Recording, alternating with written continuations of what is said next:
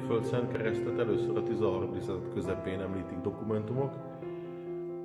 Péli nevű nemzetség először század közepén még nagyon erősen lakott településben, utána egy egyre inkább kiüresedő, aztán elnéptelenedő települést. Ugyanakkor följegyzik ezek a dokumentumok, hogy egy kis roskadozó kápolnában remeték, imádkoznak és őrzik a Szent Kereszt erekét. Ugye a ma a Péliföld Szent Kereszten őrzött erekje, hogy hogyan került ide, ennek a története nem ismert. Azt feltételezzük, hogy a Johannita rendnek voltak itt birtokai, kapcsolatai, barátai, és valamilyen módon ajándékozásképpen, adományozásképpen került valamelyik nemesi családhoz a Szent Kereszt erekje, aki pedig a remetéknek adományozta.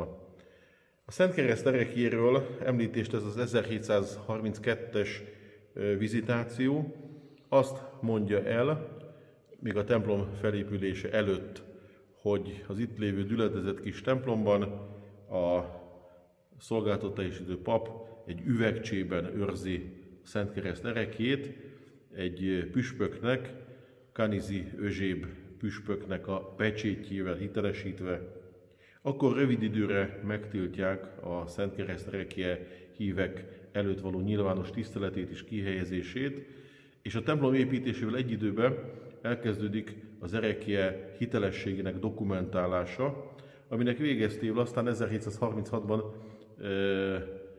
14. Benedek pápa valóban hitelesnek ismeri el az erekjét. Tehát az erekje hitelesítés a templom építésekor került előtérbe, és akkor kapta meg a pápai dokumentumot.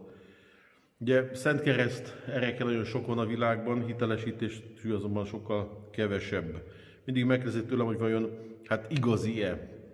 Ugye eleve nem maga az egész fa kereszt értelemszerűen az erekje, hanem a egyébként ezüst, de aranyozott erekje tartóban lévő fa kereszt közepén van egy pici, kicsit sötétebb szálka, és az a szálkácskányi darab a Szent Kereszt erekjénk.